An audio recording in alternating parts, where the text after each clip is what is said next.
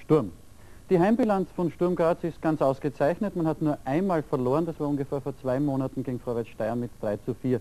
Die allgemeine Heimbilanz gegen die Wiener Austria, die schaut aber nicht so gut aus. 46 Spiele, davon hat man aber 16 Mal verloren. So, Herbert Prohaska wiederum konnte ein bisschen besser in die Zukunft schauen, konnte auch hoffen, denn er konnte die neuen Erwerbungen aus der UdSSR, Ivanauskas und Navekovas heute zum ersten Mal in Graz einsetzen.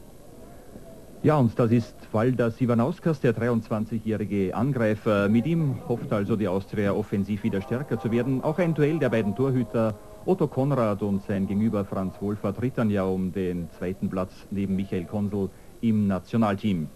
Auch Gustl Starek besonders motiviert, er schied ja vor zwei Jahren im Unfrieden von der Austria. Sturm beginnt mit sehr viel Druck.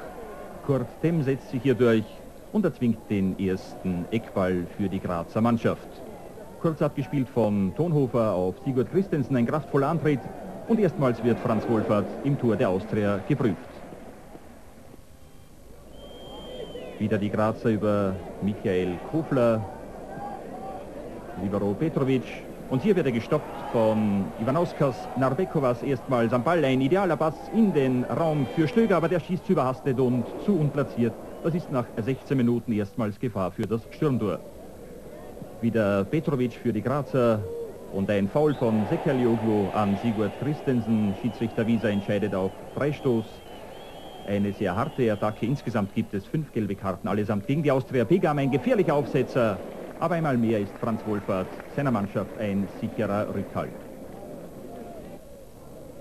Nur selten kommen die Wiener zu guten Offensivaktionen, wie man sie von ihnen in vergangenen Jahren immer gesehen hat.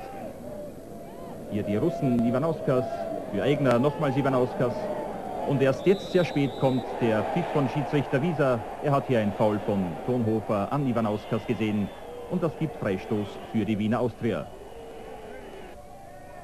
Stöger, Chuck, aber auch er hat bei seinen Distanzschüssen in den letzten Wochen kein Glück. Die spielbestimmende Mannschaft bleibt aber ganz klar die Mannschaft des SK Sturm, angetrieben von Regisseur Christensen, Direktspiel von Holzer. Und im letzten Augenblick ist hier Wohlfahrt schneller als Wettel am Ball.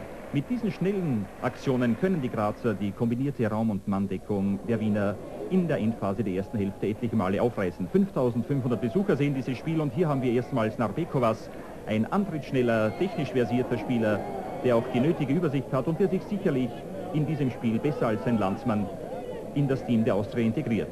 Sekalioglu, Doppelpass mit Stöger, wieder Sekalioglu. Und bei diesem Schuss aufs Kurzeck hätte er beinahe Konrad überrascht, aber der Grazer Schlussmann wenig geprüft, passt hier auf. Immer wieder gibt es Rededuelle zwischen den Austria-Betreuern Robert Zara und Herbert Prohaska mit Gustl Starek. Man ist über viele Entscheidungen von Schiedsrichter Wieser geteilter Meinung.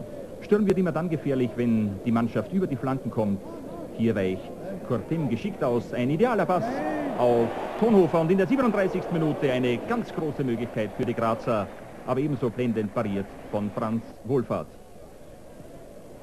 Jetzt haben die Grazer ihre beste Zeit. Schöner Pass von Begam, Abwehrversuch von Pfeffer. Die große Möglichkeit für dem spielt hier an Wohlfahrt vorbei und im entscheidenden Augenblick rutscht er auf dem seifig nassen Boden aus.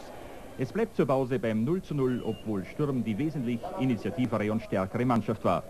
Aber die Grazer nehmen diesen Elan aus den ersten 45 Minuten mit in die zweite Hälfte.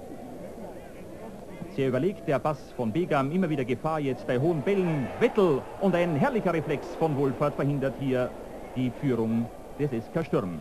Wettel wird jetzt von Minute zu Minute stärker, spielbestimmender, kann sich immer wieder von der Manndeckung lösen.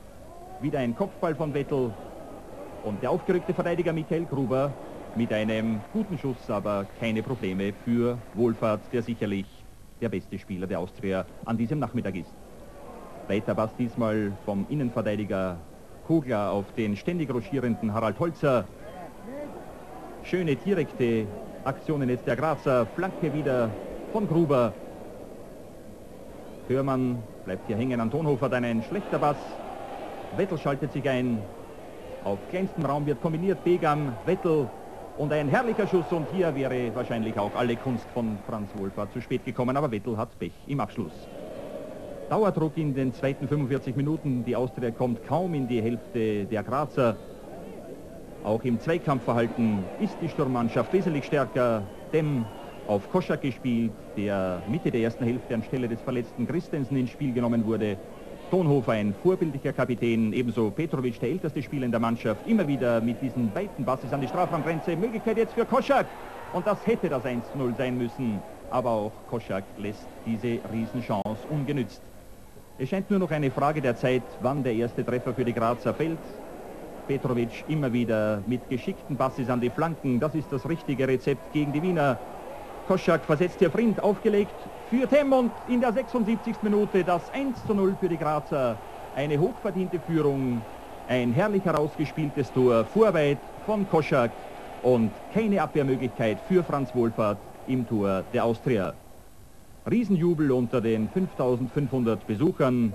Und dann bringt Herbert Prohaska eine dritte Sturmspitze mit Rupert Marco. Nochmals versucht die Austria ein Unentschieden aus dieser Partie zu holen. Hörmann auf Ivanauskas gespielt, der in der zweiten Hälfte kaum mehr zu sehen ist. Eine gefährliche Flanke. Konrad und Marco rutschen vorbei und Sturm siegt hochverdient mit 1 zu 0. Freude auf den Rängen, aber auch Komplimente aus dem Lager des Gegners. Ich muss sagen, wir waren 90 Minuten die klar unterlegene Mannschaft. Sturm war 90 Minuten besser als wir. Sie haben besser Fußball gespielt, sie haben mehr gekämpft, sie sind mehr gelaufen. Und der Sieg müssen wir noch froh sein, also die Niederlage, dass wir nur 1 zu 0 verloren haben. Man hat sich gerade erwartet, dass man mit den beiden neuen Sowjetrussen, mit Nabekovas und Ivanauskas heute vielleicht für Furore sorgen kann. Es ist sicherlich schwer für neue Spieler, bis sie in die Mannschaft integriert sind, ein Urteil zu diesen beiden neuen Legionären. Jetzt ein Urteil abzugeben ist sicherlich schwer, denn sie sind erst ein paar Tage bei uns. Man hat schon gesehen, dass sie vielleicht eine Verstärkung für uns sein können, aber man muss sich abwarten. Ich kenne sie schon, sie haben eine Woche trainiert im Sommer, da waren sie sehr, sehr stark und ich hoffe, dass sie diese Form finden. Es ist sicherlich immer ein ganz besonderes Gefühl, gegen die Wiener Austria zu gewinnen, denn wenn man so ein bisschen in den Annalen blättert, die Wiener sind ja der Angstgegner von Sturm.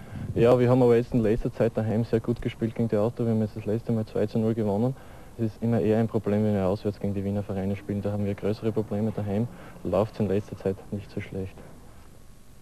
Na gut, auf alle Fälle, die Austria hat es nicht geschafft, an Tirol heranzukommen oder dran zu bleiben. Jetzt zum